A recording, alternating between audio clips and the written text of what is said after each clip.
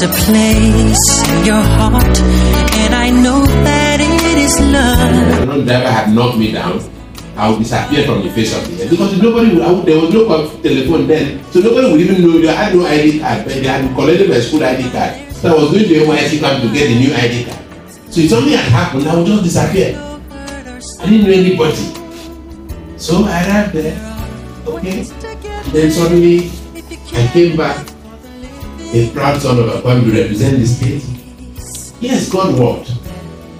Destiny worked. It also worked. Happy that we have no listening to you. I'm so proud. And listening to you, the way you speak, I'm like, oh, this is my day school. I'm proud of you, all of you. To keep tab, um, to meet, know how you progress. Because it's one thing for us to do this every year, commit resources to do this. But I also want to know how far have you gone? Where have you gone? What can you do with your life? What has become of you?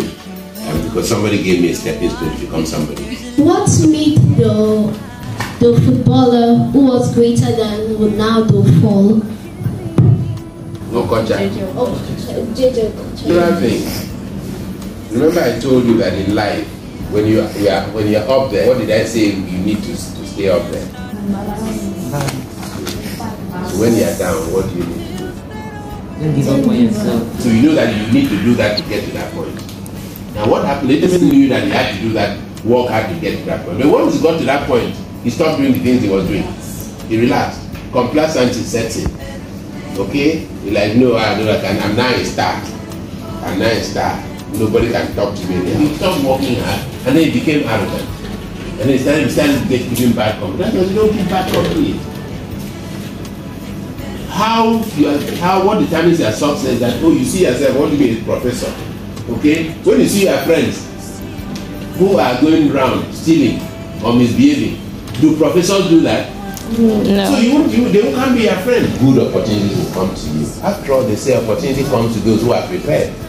If you are not prepared you can't have your the opportunity will come and pass you by okay? And so every opportunity i had i had to maybe it was because i wanted to prove something My limitation was that that was my father's level of exposure home. He has standard six, a tailor.